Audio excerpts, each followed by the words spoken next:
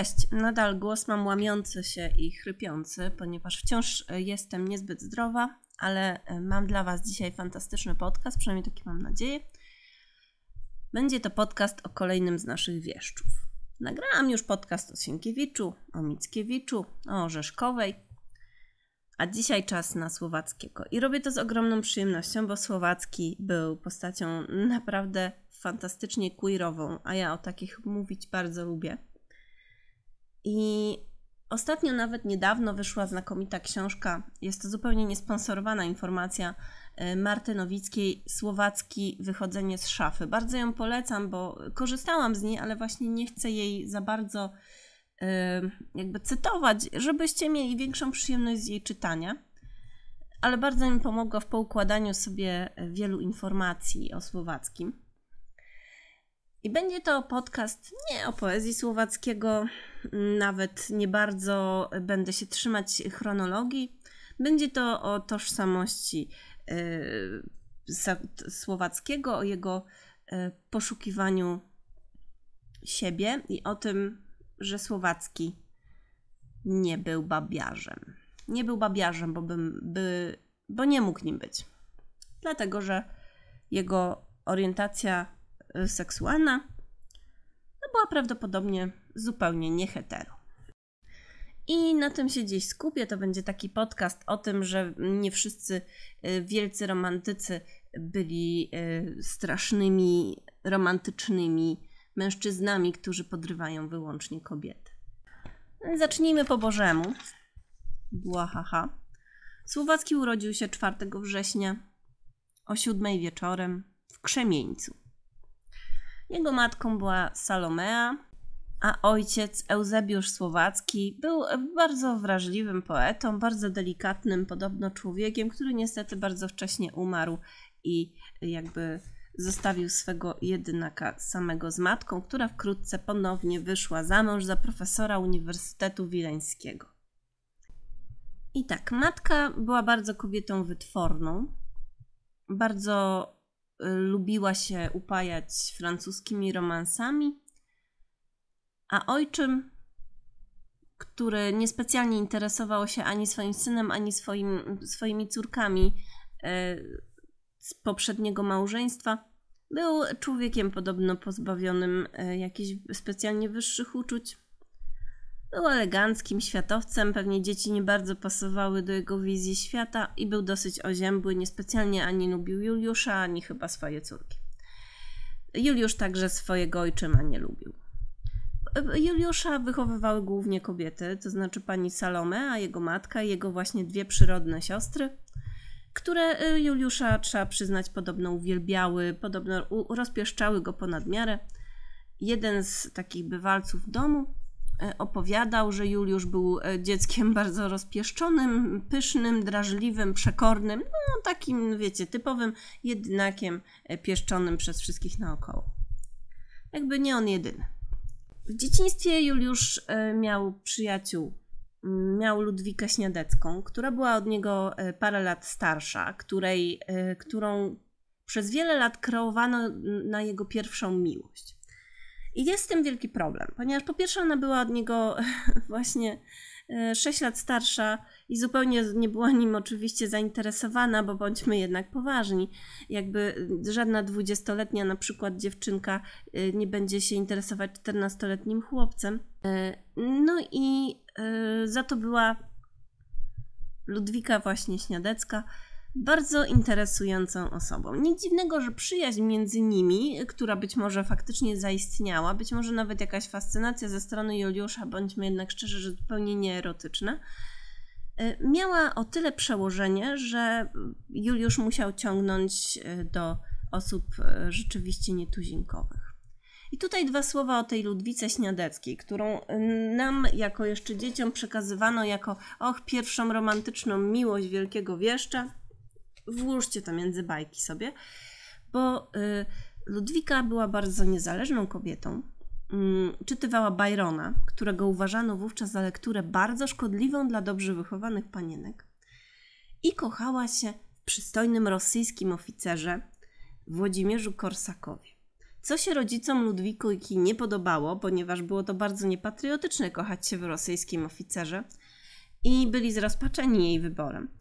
Na dodatek biedaczysko, ten, że oficer zginął na wojnie rosyjsko-tureckiej, a Ludwika wyruszyła w podróż. Słuchajcie, samotna panienka wyrusza w podróż, by odnaleźć jego ciało i sprowadzić je do Rosji bo w, tych, w czasie tych poszukiwań, które trwały wiele lat, no, no to jest dopiero e, sprawa, trafia ona do Stambułu, gdzie spotyka swoją drugą miłość, a ma już wtedy lat 40, bo w ogóle krąży po świecie.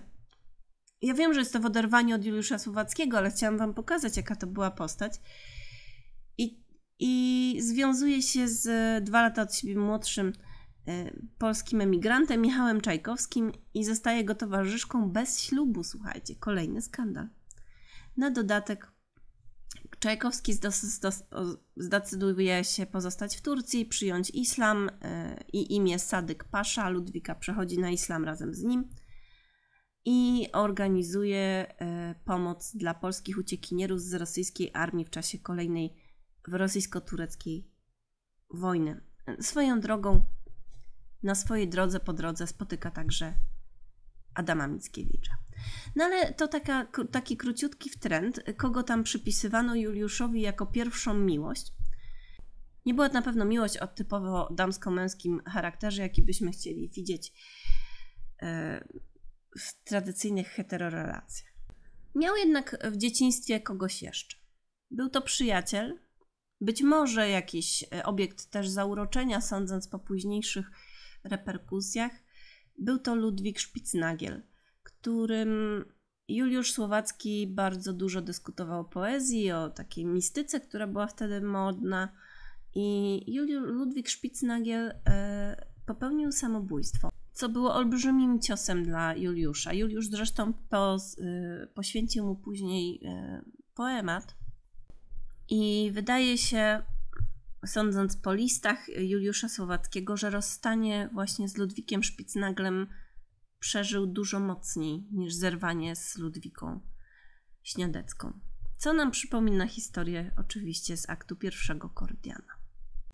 Juliusz Słowacki był bardzo wątłego zdrowia. Zresztą wiemy, że zmarł bardzo wcześnie, miał lat 40, kiedy umarł. E, miał e, gruźlicę po prostu i astmę. E, I nie przeszkadzało mu to na szczęście Mm, zwiedzić kawał świata. Zresztą to jego zwiedzanie, podróżowanie miało charakter pewnych takich duchowych poszukiwań, być może także tożsamościowych. Bo przecież e, Słowacki, kiedy tylko wyrwał się spod dosyć nad, kurateli, dosyć nadopiekuńczej matki, z którą zresztą e, korespondował przecież przez całe życie bardzo intensywnie i bardzo intymnie, to jak tylko wyrwał się z Krzemieńca, najpierw wyjechał do Wilna na studia, potem e, wyprawę nad Morze Czarne uskuteczniał. Mieszkał i w Warszawie, i w Prusach, i w Londynie, w Paryżu. Podróżował po Szwajcarii, po Włoszech. No i oczywiście słynna była jego wielka podróż na wschód, z Włoch do Grecji, potem do Egiptu, Syrii, Palestyny i Libanie, gdzie w klasztorze Betheszban powstał Angeli. Tam zresztą e, jeszcze jakiś czas temu, w tymże klasztorze w Libanie, była stała wystawa poświęcona Słowackiemu. To jest dosyć interesujące. No ale do rzeczy. Relacje Słowackiego z kobietami były takie bardzo powierzchowne. To znaczy, widać było, że e, niespecjalnie one go tak po prawdzie interesują. Kiedy Jarosław Marek Rymkiewicz y, swego czasu spróbował, próbował zrobić Don Juana ze Słowackiego i wymieniał wszystkie panienki, z którymi to niby się y, Słowacki tam zbratał, to przez potem po tej całej teorii przez wiele lat nikomu nie przychodziło nawet do głowy, że jakiś aretysta romantyczny mógł się nie kochać w kobietach albo w ogóle jeszcze w takim maczystowskim stylu. Tymczasem Słowacki oczywiście e, z różnymi kobietami miał kontakt, ale bynajmniej nie taki, jakby nam się wydawało. Kiedy w 1831 roku poznał córki francuskiego wydawcy swoich książek, to przez jakiś czas w pewien sposób bawił się uwagą e, jego jednej z córek, tej 15-letniej Kory, i pisał w liście do matki tak.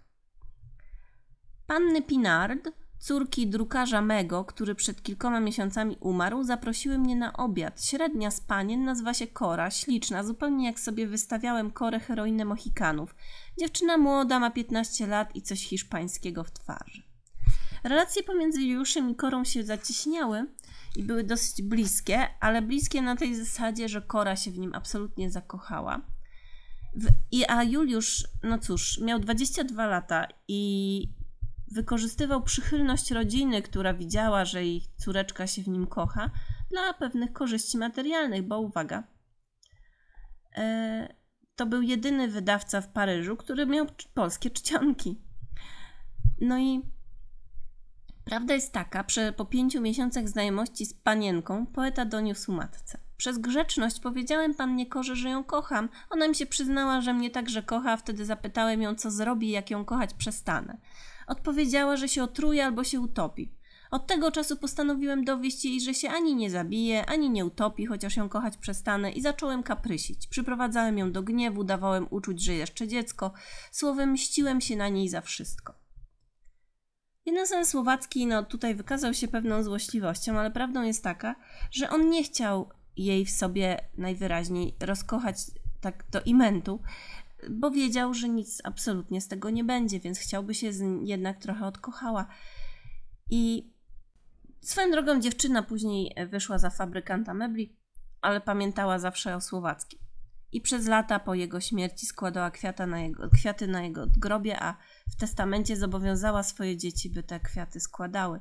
I dosyć ciekawe jest, bo e, jakby za druk swoich dzieł ojciec panienek e, e, jakby Mm, pozwolił zapłacić Słowackiemu nawet jedną trzecią mniej niż Mickiewiczowi. W związku z tym opłacała się ta znajomość. Niemniej nie było w niej znowu niczego absolutnie erotycznego.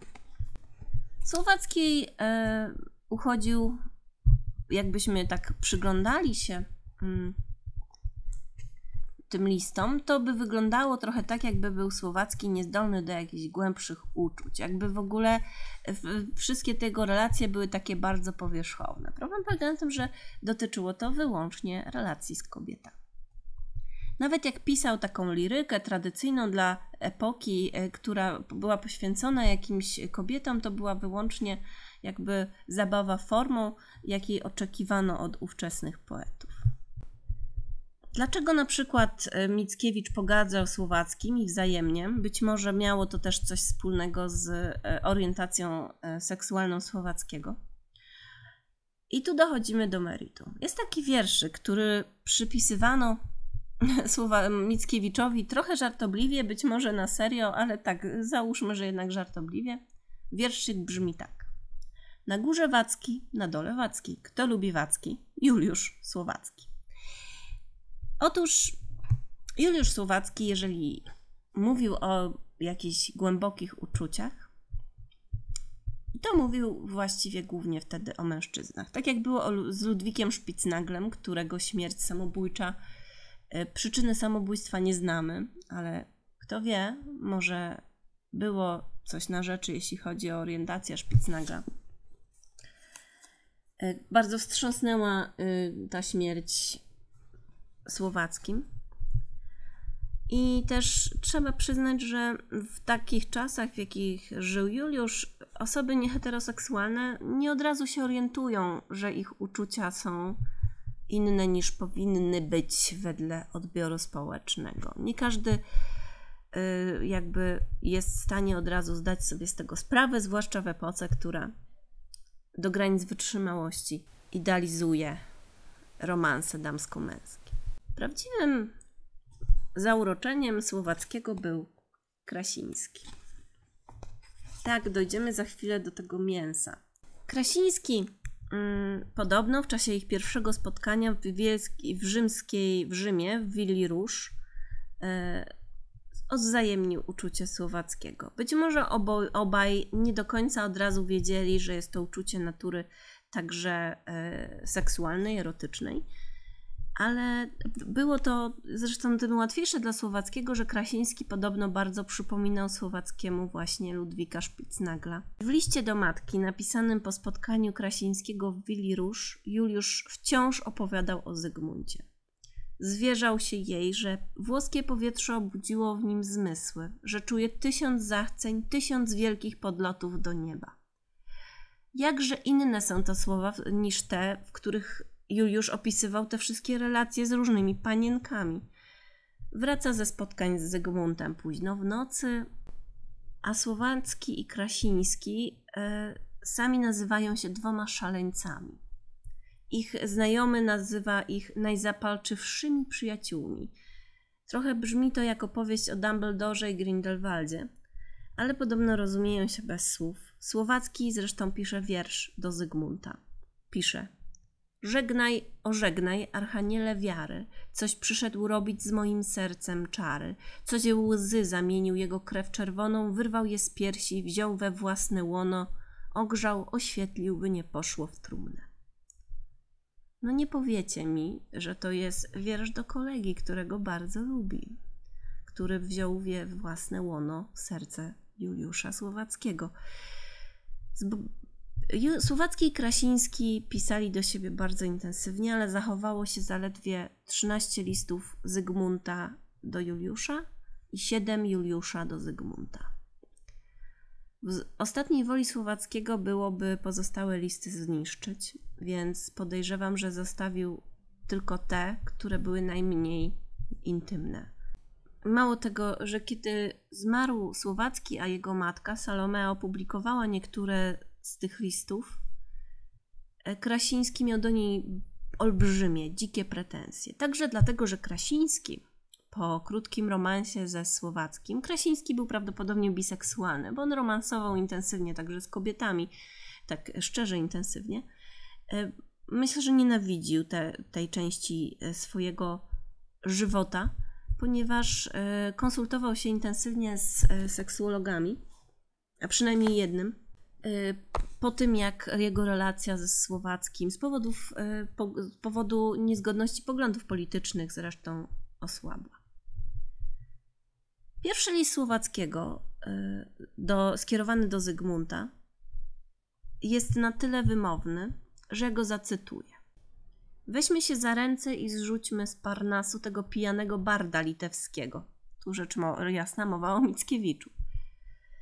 Powinieneś mnie jak centaur stratować, jak orzeł wszponić, jak lew roztargać, a ja powinienem ci się oprzeć, pisał Juliusz do Zygmunta. Jeżeli macie kolegów, do których mówicie, żeby was jak orzeł wszponili, no to gratuluję bliskich relacji z kolegami. W każdym razie, w listach widać, że mężczyźni się wzajemnie inspirowali, że e, się wspólnie jakby rozwijali, ale też widać, że to była szalona przez chwilę młodzieńcza miłość, ponieważ byli o siebie szalenie zazdrośni. Czasami jeden wyrzuca drugiemu, że jest chłodny, że zwleka z odpowiedzią, że e, no po prostu no, typowa sprzeczka kochanków. Zygmunt Krasiński i Juliusz Słowacki na pewno uprawiali ze sobą seks co najmniej raz w Willi Róż właśnie, gdzie e, właśnie e, ta ich miłość zakwitła. Krasiński odpowiadał w listach do Juliusza, że się rozpływa, że tonie w błękicie, żeby ich, że chciałby by ich sześćdziesięcioletnich, kiedy znów ta sama willa róż otoczyła. Jednym słowem marzę, że razem się zestarzeją. Marzy, że spełni, spełni, spędzi z Juliuszem całe życie. Typowa miłość między dwojgiem ludzi.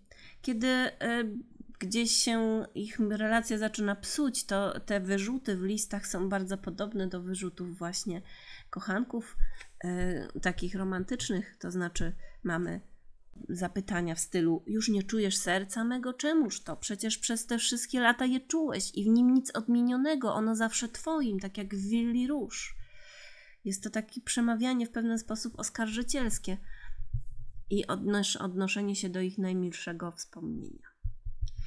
Ale Krasiński nie był taki intensywny i szczery w uczuciach jak Słowacki, ponieważ prowadził życie podwójne. On równocześnie y, miał inne, inne osoby, tym, w tym przypadku kobiety. Na przykład y, równolegle do relacji z y, Juliuszem rozwija się relacja Krasińskiego z Delfiną Potocką i on ukrywa to przed Juliuszem. Przecież gdyby Juliusz Słowacki był dla niego wyłącznie kolegą, a nie kochankiem, nie musiałby ukrywać przed nim romantycznej relacji z inną osobą dowolnej płci. Ale też Słowacki w pewnym momencie nie poinformował Krasińskiego o planach wyruszenia na wschód, na tą jego wielką podróż, a Krasiński był wyraźnie zirytowany tym faktem. Złościł się, dyskredytował wtedy Słowackiego za to, że ten e, za towarzysza wybrał Zenona Brzozowskiego. E, nazywał wtedy w listach Zenona Brzozowskiego, w listach nie do Juliusza, tylko do innych, największym głupcem pod słońcem. I Słowackiemu oczywiście tego nie mówił, ale było w listach do innych widać, że jest absolutnie wściekły i zazdrosny, że Juliusz nie wyjechał razem z nim. Tutaj cytat e, z listu Krasińskiego do Adama Sułtana. Dziwi mnie niepomału, że dupa Brzozowskiego powędrowała do Egiptu. E, chodziło o to, że oburzał się, że Słowacki wybrał Brzozowskiego na towarzysza i uważał Brzozowskiego za no, także za półgłówka. Swoją drogą w tej podróży na wschód, z której też piszę listy, nie zwracają uwagi Juliusza żadne kobiety poza jedną. I to jest bardzo y, interesujące, y, co zwróciło uwagę Słowackiego. Otóż w czasie całej tej podróży tylko jedna kobieta zwróciła jego uwagę na tyle, by o niej wspomniał. Była to pewna Abisynka, zobaczył ją na rynku w Kairze i napisał, że pragnąłby ją przebrać za pazia, bo jak mu się zdaje, szalenie by ją w męskim przebraniu kochał. Y, czyli jakby niekoniecznie mamy tu zauroczenie kobiecymi wdziękami. Tak jak mówiłam, Krasiński y, tutaj grał na dwa fronty, ukrywał przed Słowackim swoją relację z Delfiną Potocką, jej, y, swoją, swój wyjazd z Potocką do Szwajcarii. I ani razu w żadnym z listów do Słowackiego nie pojawia się imię Potockiej. Ukrywa ją po prostu przed e, swoim ukochanym. Nie informuje Słowackiego, że wysyła kochance listy e, jego z okresu, kiedy się poróżnili o pewne sprawy. I to było dosyć wstrętne. To znaczy, wyraźnie w listach Krasińskiego do Potockiej jest, że naigrywa się z pewnych cech e, Juliusza, chyba żeby może się przypodobać Potockiej, a może trochę w oczach Potockiej odwrócić uwagę od tego, że on mógł e, się w Juliuszu kochać. Także tak jakby dyskredytował swojego e, kochanka tylko po to, żeby Delfina Potocka sobie przypadkiem nie pomyślała, że go coś z nim łączy. Ale były to rzeczy dosyć złośliwe. Bo z jednej strony pisze do Delfiny w tym samym czasie, że proszę zobacz w liście słowackiego, który tu załączam, jest tutaj strasznie dużo paskudnych rzeczy, bla bla bla, a z drugiej strony równocześnie pisze do słowackiego e, wyrzuty, że ten kocha go już mniej niż kiedyś. Te romanse, te kłamstwa e, spowodowały coraz większy e, taki rozdział między Krasińskim i Słowackim i drogi się rozeszły, zwłaszcza po tym, jak Krasiński, trochę wzorem Słowackiego, postanowił spróbować swoich sił w poezji, a Juliusz skrytykował te jego wiersze, y, co no musiało, no to bądźmy szczerzy, musiało go po prostu też dodatkowo zranić. Zresztą y, czasami padają, poza oczywiście różnymi uwagami, które są w oczywisty sposób po prostu intymne, to są takie wprost wyznania, na przykład kiedy Juliusz pisze do Krasińskiego Potrzeba mi listu od ciebie, bo ja ciebie nie tylko duchem, ale i po ludzku kocham, więc chciałbym ciebie zawsze czuć w każdej chwili życia twego, nie tylko jako fantastyczną istotę i cel romansowego przywiązania, ale jako prawdziwego człowieka i wielkiego człowieka. Nic więc mi obojętnym być nie może, co się ciebie dotyczy. Nie mamy tu wątpliwości, prawda? Tego się podważyć nie bardzo można. I proszę, ja wiem, że e, niektórzy mówili, och, bo relacje w tamtych czasach między mężczyznami to były jednak trochę inne niż teraz. Dobra, nie? Jakby nie do tego stopnia. Naprawdę nie. W każdym razie y, drogi panów się rozchodzą. Poróżnia ich głównie polityka, a także to, że Krasiński prowadzi podwójne życie. Słowacki zaczyna marzyć o krwawej rewolucji i radykalizuje się, a Krasiński przeciwnie. Zaczyna dryfować w kierunku konserwatysty katolickiego. Zaczyna opowiadać o tym, że najważniejsza to jest katolicka rodzina. Zaczyna czcić e, jakby instytucje małżeństwa, szlacheckie tradycje. No wiecie, jak ktoś się boi swojego popędu, to często staje się turbo-heterokatolikiem. I taka droga prawdopodobnie mm trafiła e, Krasińskiego, który zresztą prawdopodobnie był po prostu biseksualny. Przypieczętowaniem tego jest oczywiście ślub Krasińskiego z Branicką, yy, którym zostaje zawarty na prośbę ojca yy, Krasińskiego dla dobra rodu, no bo trzeba przedłużyć jakby trwanie rodu. W nagrodę za ten ślub Zygmunt Krasiński dostaje od tatusia pałacyk w Opingurze. Tam obecnie jest zresztą Muzeum Romantyzmu. Ale podobno żony nienawidził i paskudnie ją upokarzał. Także dlatego, że chyba jedyną kobietą, którą kochał, to była Delfina Potocka. Branicka podziwiała Krasińskiego od początku, on ją pogardzał, ona tolerowała jego dziwactwo, jego niewierność. Yy, niewierność to oczywiście mówimy o tym, że Krasiński nadal spotykał się z Potocką. Yy, plotka głosi zresztą, że podróż poślubna Branickiej i Krasińskiego odbyła się w osobnych powozach i że przez długie miesiące nie odbyli przypieczętowania związku nie skonsumowali małżeństwa. Słowacki oczywiście nie miał żony. Za to był szalenie zainteresowany modą. I to jest jedna z tych rzeczy, tych cech, które bardzo mnie e, ujmują. Naprawdę, ja jego wzmianki słowackiego o strojach, o modzie, o wyglądzie są tak fantastyczne. On jest w tym tak cudownie queerowy że e, w dzisiejszych czasach byłby niesamowitym artystą, który mógłby uzewnętrzniać swoje e, upodobania zupełnie na legalu. Jednak widać było, że jego wrażliwość na stroje, na modę była zdecydowanie absolutnie wyjątkowa.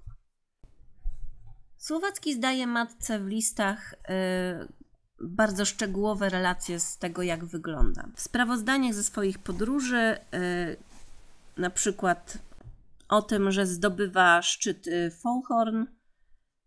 Nie opowiada o tym, jak wyglądała przełęcz, czy, czy tego typu rzeczy, tylko zaczyna opis od tego, w co był ubrany, zdobywając szczyt. Opisuje w każdym szczególe y, to, w czym przemierzał górskie szlaki. Na przykład Miałem płócienną bluzę haftowaną zielonym jedwabiem czy też włóczką, pas czarny skórzany, białe szarawary, kapelusz ze słomy białej i czarnej pleciony, dość niski, z ogromnymi skrzydłami i opasany purpurową wstążką, do tego na grubej podeszwie trzewiki, kij wyższy ode mnie, biały z żelaznym końcem, jakiego zwyczajnie górale używają. W ubiorze tym wyglądałem tak młodo, że mi dawano 15 lat wieku. Na pewno wyglądał pięknie. Kiedy pisze listy do matki, często właśnie opowiada, że nie rusza się z domu na przykład bez, bez bladożółtych rękawiczek i że jest taka, taka, taki jeden list, który jest chyba cytowany absolutnie wszędzie, kiedy mowa jest o zamiłowaniu słowackiego do mody. Ja go przeczytam też ten fragment, bo on jest przeuroczy, naprawdę przewspaniały i widzimy to wszyscy oczami wyobraźni. Udała mi się moja rola w ogrodzie Tuileries.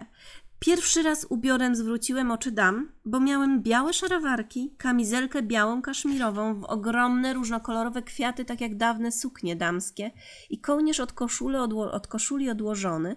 Do tego dodajcie laseczkę z pozłacaną główką i glansowane rękawiczki, a będziecie mieli Julka. Raz zostawszy poetą, chcę ujść powszechnej nagany, którą nasz naród wystawia jako opuszczony i niedbały.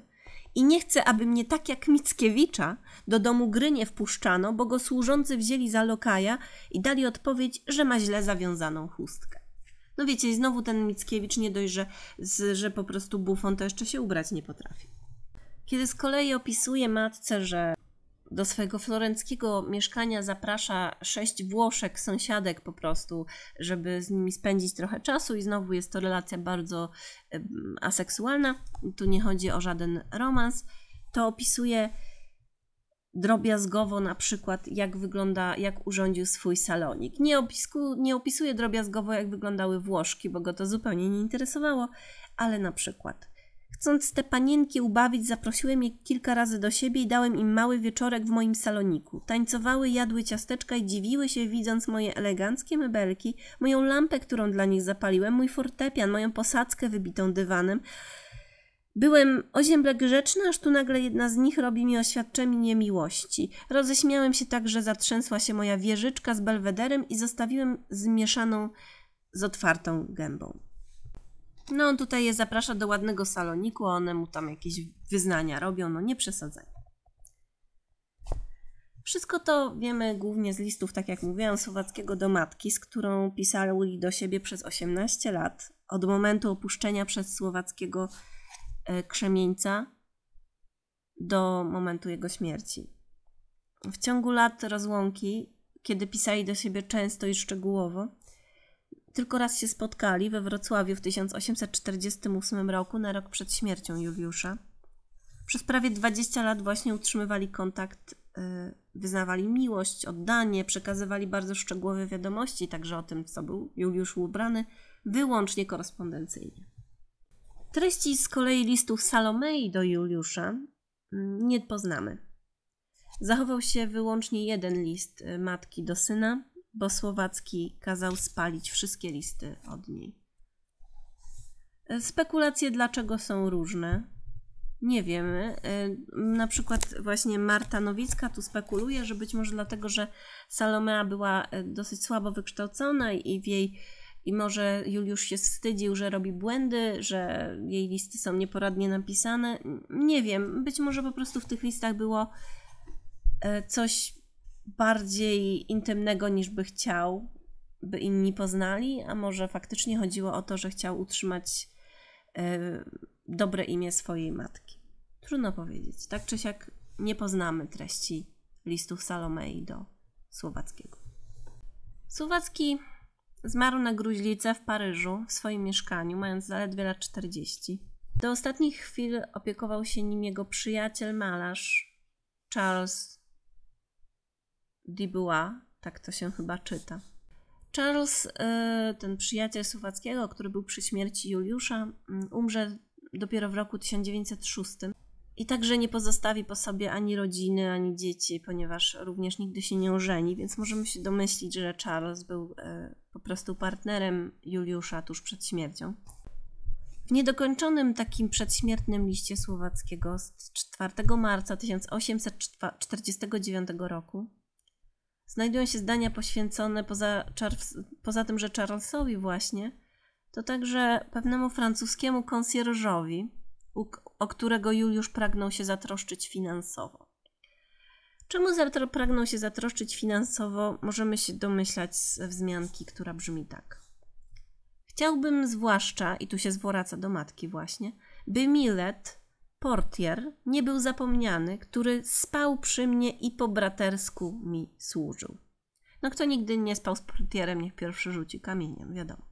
W każdym razie zaraz potem e, prosi Salome, by kartkę z listem zniszczyła, czego jak widzimy prawdopodobnie nie zrobiła, stąd wiemy o portierze Milecie, który nie zostaje zapomniany, bo spał przy Juliuszu.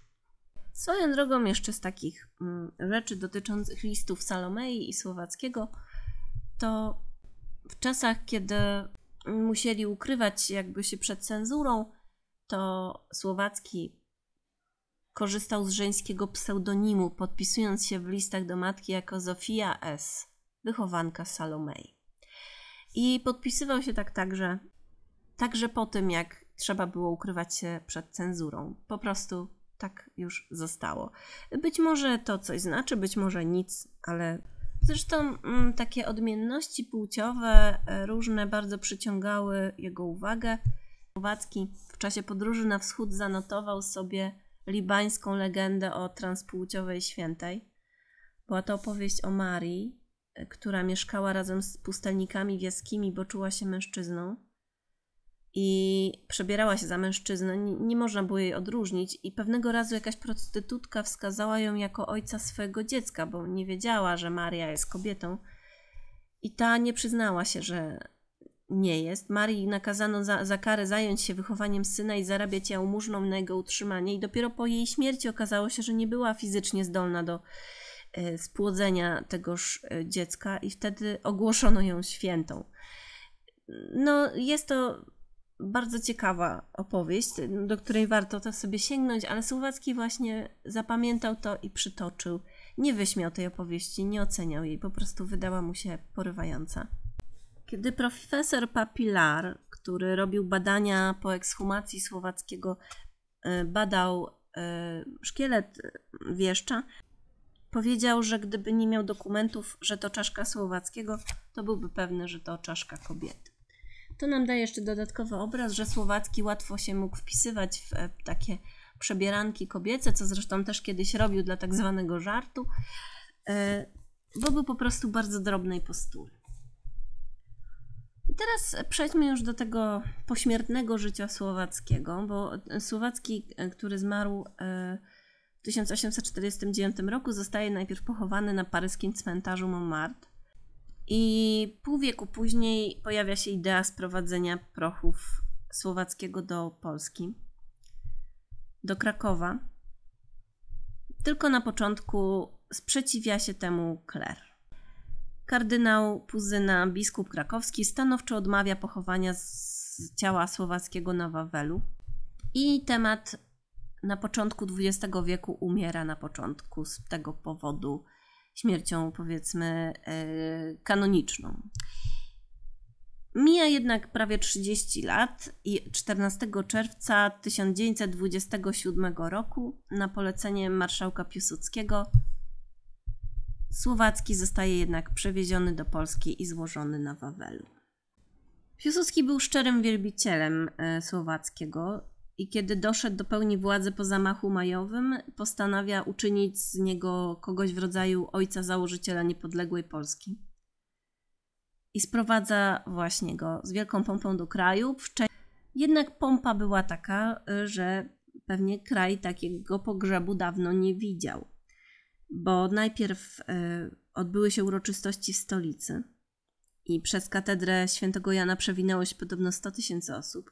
Potem trumnę uroczyście przewieziono do Krakowa i złożono obok Mickiewicza na Wawelu. Pewnie się e, musiał Słowacki pośmiertnie, gdyby rzeczywiście istniało życie po śmierci, nieco obruszyć, że musi spędzić wieczność w takim towarzystwie. W każdym razie trumna z prochami poety Mm, najpierw do brzegów Polski przywiózł transportowiec e, pod dowództwem komandora Petelenca, następnie z Gdańska popłynął w górę Wisły do Warszawy. E, na pokładzie, uwaga, boczno-kołowca Mickiewicz. Otóż Mickiewicz z, popłynął ze Słowackim na pokładzie. E, statek, zanim dotarł do Warszawy, zatrzymywał się w portach chyba pięciu, gdzie miejscowa ludność składała hołd prochom wieszcza – i kiedy potem przybił do pyta, przystani w Warszawie, y, skąd właśnie orszak pogrzebowy przeszedł do katedry świętego Jana, a potem przewieziono Słowackiego na dworzec główny i wyruszył tam pociągiem już do Krakowa. I 28 czerwca 1927 roku, czyli dwa tygodnie cała ta impreza trwała przewożenia Słowackiego z miejsca na miejsce, na dziedzińcu na zamku wawelskim odbyła się uroczysta ceremonia, gdzie przemawiał właśnie Piłsudski. I tutaj mamy to słynne przemówienie, że żyło ludzi mnóstwo i wszyscy pomarli, błyskotliwe. I potem dowodził, że Słowacki zapewnił sobie nieśmiertelność jako w ludzkiej pamięci i idzie jako król duch do krypty i tutaj jest, pojawia się ta nierozstrzygnięta do dziś kontrowersja, czy Piłsudski powiedział bo lub czy by, królom był równy. Swoją drogą na cmentarzu Montmartre, e, pierwotny grób Słowackiego, zaprojektowany zresztą przez tego artystę, który był przy jego śmierci, Charlesa, nadal można oglądać. No i tak to wyglądało. Tak to wyglądało e, z takiego damsko-męskiego punktu widzenia życia słowackiego, którego trudno wepchnąć w ramki e, heteroseksualnego, romantycznego amanta. I to byłoby na tyle na dzisiaj. Tak, prawdopodobnie Słowacki lubił Wacki, jak mówi ten czterowiersz uroczy. I nie ma tym oczywiście nic złego, ale chciałabym czasami pomyśleć, jakby wyglądało jego życie w dzisiejszych czasach. Króla mody, może współczesnej poetyckiej Conchity.